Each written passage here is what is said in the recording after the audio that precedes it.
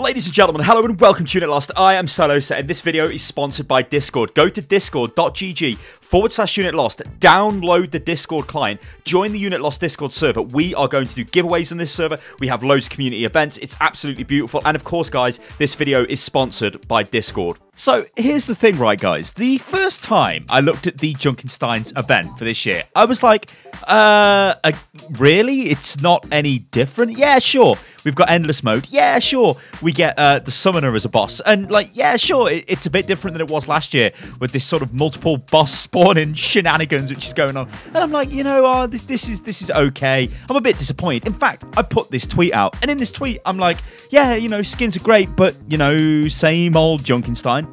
Anyway, I've been playing Junkenstein's Revenge, and it's dawned on me that it's actually really, really fun. And I just forgot how fun it was. And I think I was becoming, ladies and gentlemen, borderline entitled to the point of where the hell is the extra content for Junkenstein's Revenge? Now, this was kind of exacerbated a little bit by the fact that they've totally redone the Eichenwald map. So they've Halloweenified the map, and I'm like, why why can't we just go to a different area of the map? Blah blah blah. What's going on? In fact, I made loads and loads of notes, so it's going to be quite interesting to go over this. So basically, um, I was disappointed that it was the same event. Um, and I'm like, well, surely players get drawn back to seasonal events when it's a new event. So if you've got, well, when you've got a new brawl. So yeah, we knew it was going to be Halloween. We knew it was going to be Junkenstein's Revenge, Halloween Terror, all of that good stuff. But I was hoping, and in fact, the videos that I made on the channel, which you guys have no doubt watched, where I was like, yeah, maybe we go into the castle or we do something else. Um, when we got the skin leaks, it was like, oh my god, maybe uh, Reaper is the boss this time around with his vampire skin uh, because we've got the uh, Blood Moon, which was like something to do with vampires and werewolves and all this stuff. It's like, oh my god, this could be anything. This could be so awesome. We could be looking at a completely different Junkenstein's Revenge event. And remember what Jeff said a while back, where Jeff was like, yeah, we're going to reuse the same events, but we're actually going to build on them and make them more interesting and more fun to play. So when I initially played through Junkenstein's Revenge, I'm like, well, actually, it's not that different, right? So it was kind of making me worry a lot for the game. Anyway, so I had issues with like, the, surely the game's going to become stale if they just keep recycling events like this, where it's literally the same event. Yeah, I know it's slightly different, but it's basically the same event. There are some special things you can do. So we've got endless mode this time around, which is fun because it was never that fun when the event just finished. Um, we've also got uh, it's available in custom games, so you can unlock whatever heroes you want to do. You can put crazy modifiers on. You can just go mental. I mean, you can make yourself Bastion doing 500% extra damage and solo the entire event if you'd like to, with you taking 500 percent less damage, if that's a thing. Basically, you take no damage but do loads of damage, and it's fun to do that. Like, it, it, undeniably, it is a fun thing to do. However, I was worried, right? And I actually I, I, basically put the outline for a video, and it was this Overwatch, the impact of recycled events. And I kind of was fleshing it out, and, and I've kind of gone over it in this video so far, where I was worried, right? Because I'm like, it's the same event. Anyway, I've been playing Junkenstein's Revenge for literally hours. I have been playing this event since it has been available to play. And now, what does that say? Uh, well, I think that says that it's a really damn good event. Now, it's the same as last year, right? I know it's the same as last year. You guys know it's pretty much the same as last year, apart from the Symmetra boss. That's it, right? So, why is this so fun to play? And then, it, and then I kind of sat back in my chair and I was like, you know what? I think it's just because this is a totally different way of playing Overwatch, which isn't competitive, because competitive is a ball ache, ladies and gentlemen. You can have really good games. In fact, I've been playing competitive a bit today. I think I played five or six games. Um, three of them were really good, um, and the rest were sort of mm, iffy. Like, I mean, the first game of the day, I had a Torbjorn main who was just playing Torbjorn and being really toxic to the team, and it was not great, and he wasn't really trying. Like, I've got no problem with people picking heroes if they're going to play the hero, but this guy just didn't care. So I'm like, here we go.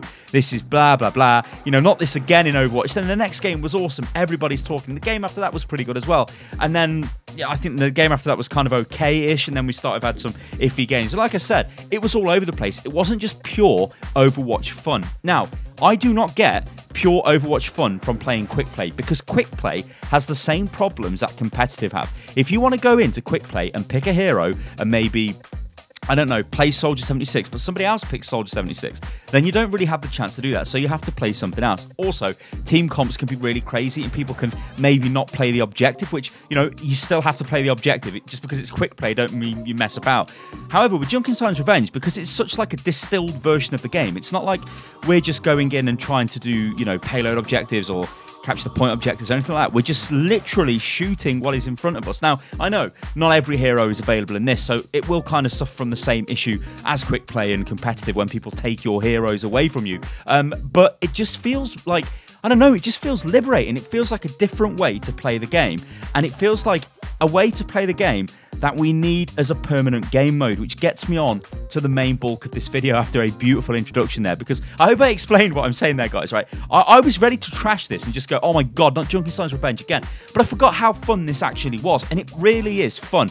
But it's PvE, isn't it, guys? Absolutely PvE. I take you back to the, the Uprising event. We all played that. We all loved that event. That was the best event in this game's history. That that's it. It was the best brawl, right? When I say event, I mean brawl. So it was the best brawl related event. Event related brawl. That's it.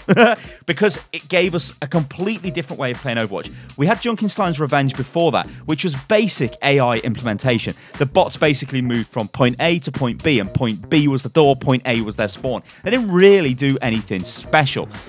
Uprising comes along and we've got different types of enemies, unique enemies which do crazy stuff. Which yeah, I know there's kind of unique enemies in Junkenstein's Revenge, but it's basically long range attack bot or like mortar bot. Uh, it's sort of dopey walk towards the door bot and then it's Zomnic bomb bot, and that's kind of it. The, the variety in that mode is with the bosses. However, Uprising had loads of little different events, we had different objectives, we moved around the entire map. It was really well done, it was really fun. And you guys know that leading up to that, I was like, we need PvE, please be PvE, and it was PvE, and that was friggin' awesome. Anyway, we fast forward to now. This is the second time we've played Junkenstein's Revenge. And on paper, it's not really changed. I was hoping, like in my wildest dreams, what I wanted us to do was walk around the entire Eichenwald map, right? Which kind of frustrated me a bit because they have designed the map for Halloween.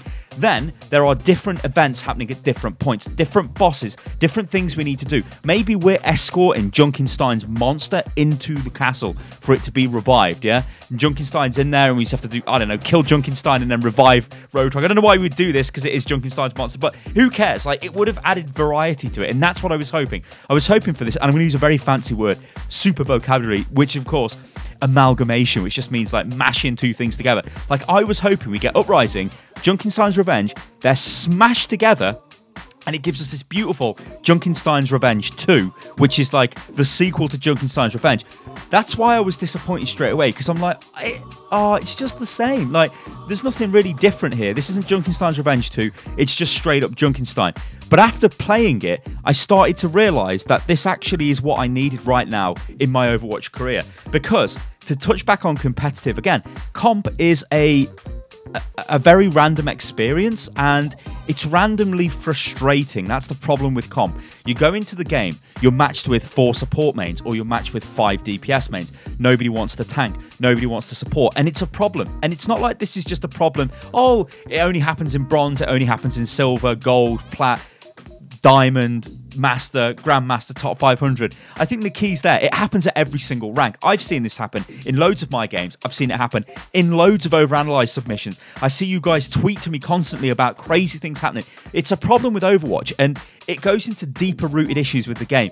The fact that it doesn't have um, it kind of really doesn't punish people who don't really want to play and form a team. But the big problem with that is how can Overwatch ever do that? Because if it starts like banning heroes or like the team vote on what heroes can be played, it's always going to be the same heroes that get played. And what about the guys that do legitimately like to play, let's say, attack Symmetra? And they may be good at this. Like sometimes there are players which are good. Like um, you'll see like a lot of people who play like Torb that you know, do communicate with the team, and that's fine. You know, that's great. I don't mind those players. It's just the guys that are intent on making the game not a great experience for other people. And the big problem with Overwatch competitive is it only takes one person to ruin the game for your team. Like you've got five other people there. Like hopefully you're not going to ruin the game. So you've got five other people who you hope will play heroes that will form a team and will not troll and throw the game. That's a lot of randomness in comp, and I hope at some point they come to uh, they design a system which is going to remove that from comp because it is very frustrating. Anyway, all of this across all of the accounts that I've been playing on, or like you know, I, have currently got three accounts that I've been playing on. So Spitfire, Crusher, and Stakebake. I've been playing on those accounts um, this season primarily, and I've been having fun. But then I have really down moments. Anyway, I have just literally been loading Overwatch up, playing Junkenstein's Revenge, and it is so fun. So this, ladies and gentlemen, is what I want. We need a permanent PvE mode in this game. Now, BlizzCon is on the horizon. I hope to God we get more announcements at BlizzCon than just this is the new Overwatch League spectator tool, this is a new hero. Because I think we're going to get a new hero, right? When I look back to last year, we got a new hero. We got teased with Oasis, they gave us the arcade. So, what I'm hoping this year they do is they go, it's a new hero. I know they're working on the spectator tool for Overwatch League, and we've got the Overwatch World Cup stuff going on, but we need something else. And this is what they need to do, I think, at least in my eyes. Competitive could probably be sorted out if we have a guild or clan system in the game. If they announce that, I will literally lose my shit, ladies and gentlemen. If they go, we're announcing Overwatch clans or Overwatch, whatever they want to call them, outfits, I don't know. I will be like, wow, I have just lost my mind because that is literally what I'm going to do right there and then whip out my laptop, set one up if it was available then, but obviously probably won't be because they usually show things in advance. That would be phenomenal because it means you could get groups of like like-minded players together then, and it also means competitive would be very easy to set up six-man groups because if you've got a massive group of people like to pull from, you can get them in, you know their names, you know they're going to play well, and then you stop, and then the like I have always maintained the best experience I have ever had on Overwatch was when I played in one of the ESL minor cups. It was online sign up, anybody could sign up. We signed up with six players, we were all different skill abilities. It didn't even matter. It was absolutely phenomenal, that was. Anyway, Junkenstein's Revenge, I was going to bash it, but the thing is, it's actually quite fun. Now, I'm hoping the development time that was saved not actually building extra stuff for Junkenstein has gone somewhere else other than just sort of spectator tools for Overwatch League. I hope that we're going to get some like amazing reveal at BlizzCon. I don't know whether I'm hyping this up again to sort of levels beyond which which are even possible, but I just hope we get something extra at BlizzCon. Guys, I've been Stylosa.